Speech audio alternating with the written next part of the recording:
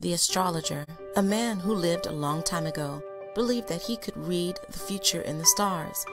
He called himself an astrologer and spent his time at night gazing at the sky. One evening, he was walking along the open road outside the village. His eyes were fixed on the stars. He thought he saw there that the end of the world was at hand, when all at once down he went into a hole full of mud and water. There he stood up to his ears in the muddy water and madly clawing at the slippery sides of the hole in his efforts to climb out. His cries for help soon brought the villagers running. As they pulled him out of the mud, one of them said, You pretend to read the future in the stars, and yet you fail to see what is at your feet. This may teach you to pay more attention to what is right in front of you and let the future take care of itself. The moral of the story is take care of the little things, and the big things will take care of themselves. The dogs and the hides. Some hungry dogs saw a number of hides at the bottom of a stream where the tanner had put them to soak. A fine hide makes an excellent meal for a hungry dog, but the water was so deep the dogs could not reach the hides from the bank. So they held a meeting and decided that the very best thing to do was to drink up the river. All fell to lapping up the water as fast as they could. But though they drank and drank until, one after another, all of them had burst with drinking, still, for all their effort in the river remained as high as ever. The moral of the story is do not try to do impossible things. The Fox and the Lion A very young fox, who had never seen a lion, happened to meet one in the forest. A single look was enough to send the fox running at top speed for the nearest hiding place. The second time the fox saw the lion, he stopped behind a tree to look at him a moment before slinking away. But the third time, the fox went boldly up to the lion and, without turning a hair, said, Hello there, old top. The moral of the story is acquaintance with evil blinds us to its dangers. The Wolf and the Shepherd. A wolf had been prowling around a flock of sheep for a long time, and the shepherd watched very fearfully to prevent him from carrying off a lamb. But the wolf did not try to do any harm. Instead, he seemed to be helping the shepherd take care of the sheep. At last, the shepherd got so used to seeing wolf about that he forgot how wicked he could be. One day, he even went so far as to leave his flock in the wolf's care while he went on an errand. But when he came back and saw how many of the flock had been killed and carried off, he knew how foolish to trust a wolf. The moral of the story is once a wolf, always a wolf.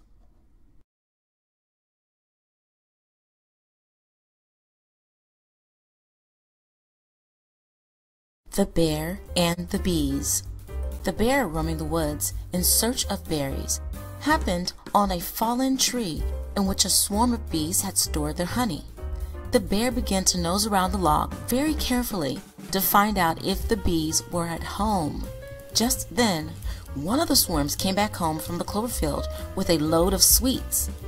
Guessing what the bear was after, a bee flew at him, stung him sharply, and then disappeared into the hollow log.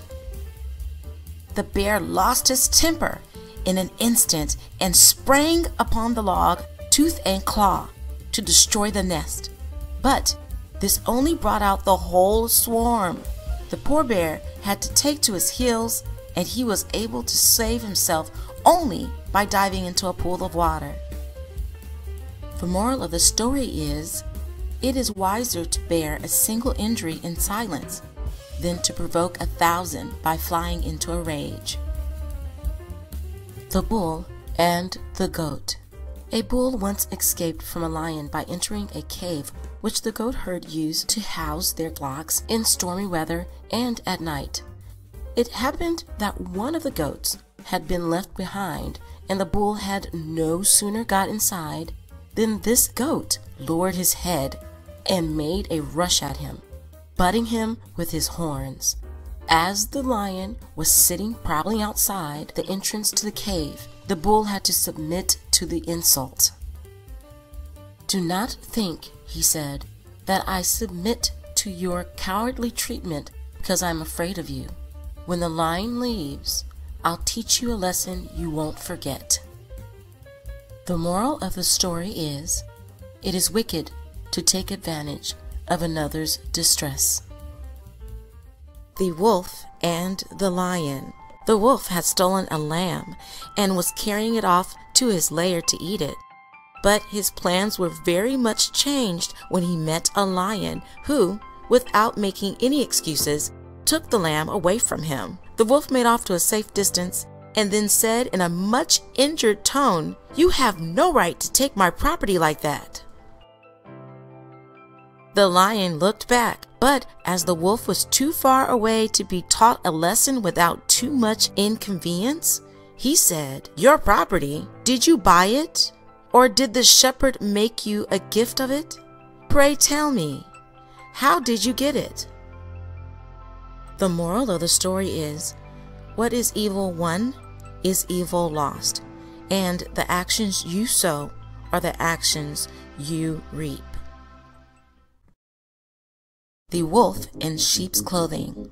A certain wolf could not get enough to eat because of the watchfulness of the shepherds. But one night he found a sheepskin that had been cast aside and forgotten. The next day, dressed in the skin, the wolf strolled into the pasture with the sheep. Soon, a little lamb was following him about and was quickly led away to slaughter. That evening, the wolf entered the fold with the flock, but it happened that the shepherd took a fancy for mutton broth that very evening, and picking up a knife, went to the fold. There, the first he laid hands on and killed was the wolf. The moral of the story is the evildoer often comes to harm through his own deceit.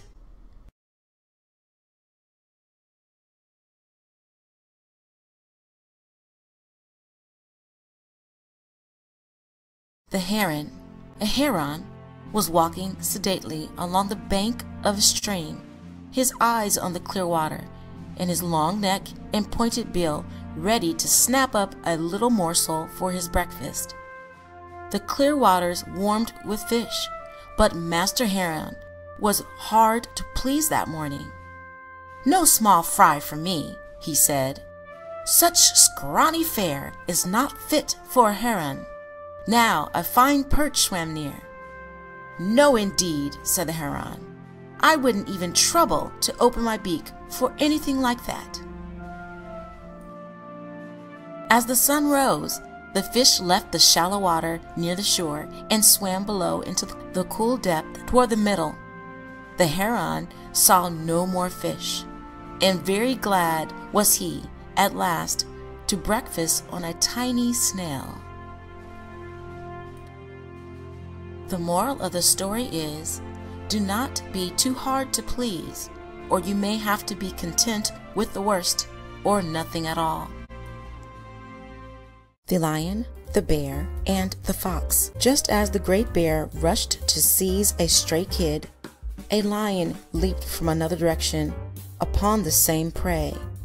The two fought ferociously for the prize until they had received so many wounds that both sank down unable to continue the battle. Just then, a fox dashed up and, seizing the kid, made off with it as fast as he could go, while the lion and the bear looked on in helpless rage. How much better would it have been, they said, to have shared in a friendly spirit. The moral of the story is those who have all the toil do not always get the profit. The Peacock and the Crane. The peacock, puffed up with vanity, met a crane one day, and to impress him spread his gorgeous tail in the sun. Look, he said, what have you to compare with this? I am dressed in all the glory of the rainbow, while your feathers are gray as dust. The crane spread his broad wings and flew up toward the sun. Follow me if you can, he said. But the peacock stood where he was, among the birds on the barnyard, while the crane soared in freedom far up into the blue sky.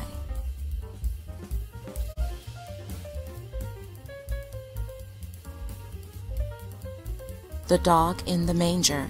A dog, asleep in a manger filled with hay, was awakened by cattle, which came in, tired and hungry from working in the field. But the dog would not let them get near the manger, and snarled and snapped as if it were filled with the best meat and bones all for himself. The cattle looked at the dog in disgust. How selfish he is, said one. He cannot eat the hay, and yet he will not let us eat it who are so hungry for it. Now the farmer came in. When he saw how the dog was acting, he seized a stick and drove him out of the stable with many a blow for his selfish behavior. The moral of the story is do not grudge others what you cannot enjoy yourself.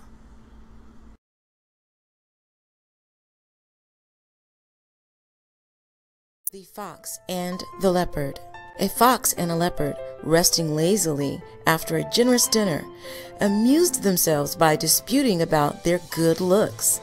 The leopard was very proud of his glossy, spotted coat and made disdainful remarks about the fox, whose appearance he declared was quite ordinary. The fox prided himself on his fine bushy tail with its tip of white but he was wise enough to see that he could not rival the leopard in looks. Still, he kept up a flow of sarcastic talk, just to exercise his wits and to have the fun of disputing. The leopard was about to lose his temper when the fox got up, yawning lazily. you may have a very smart coat, he said, but you would be a great deal better off if you had a little more smartness inside your head and less on your ribs, the way I am. That's what I call real beauty. The moral of the story is a fine coat is not always an indication of an attractive mind. The Fox and the Stork The fox one day thought of a plan to amuse himself at the expense of the stork, at whose odd appearance he was always laughing. You must come and dine with me today, he said to the stork, smiling to himself at the trick he was going to play. The stork gladly accepted the invitation and arrived in good time and with a very good appetite. For dinner, the fox served soup, but it was set out in a very shallow dish, and all the stork could do was to wet the very tip of his bill. Not a drop of soup could he get, but the fox lapped it up easily, and, to increase the disappointment of the stork, made a great show of enjoyment. The hungry stork was much displeased at the trick, but he was a calm even tempered fellow, and saw no good in flying into a rage. Instead, not long afterward, he invited the fox to dine with him in turn. The fox arrived promptly at the time that he had set, and the stork served a fish dinner that had a very appetizing smell. But it was served in a tall jar with a very narrow neck. The stork could easily get at the food, with his long bill, but all the fox could do was to lick the outside of the jar and sniff at the delicious odor. The moral of the story is do not play tricks on your neighbors unless you can stand the same treatment yourself. The North Wind and the Sun. The North Wind and the Sun had a quarrel about which one was the stronger. While they were disputing with much heat and bluster, a traveler passed along the road wrapped in a cloak. Let us agree, said the Sun, that the strongest of us can strip that traveler of his cloak. Very well, growled the north wind, and at once sent a cold, howling blast against the traveler. With the first gust of wind, the ends of the cloak whipped about the traveler's body, but he immediately wrapped it closely around him, and the harder the wind blew, the tighter he held it to him. The north wind tore angrily at the cloak, but all his efforts were in vain. Then the sun began to shine. At first his beams were gentle, and in the pleasant warmth after the bitter cold of the north wind, the traveler unfastened his cloak and let it hang loosely from his shoulders. The sun's rays grew warmer and warmer. The man took off his cap and mopped his brow. At last, he became so heated that he pulled off his cloak and, to escape the blazing sunshine, threw himself down in the welcome shade of a tree by the roadside. The moral of the story is gentleness and kind persuasion win where force and bluster fail. Thank you for coming by.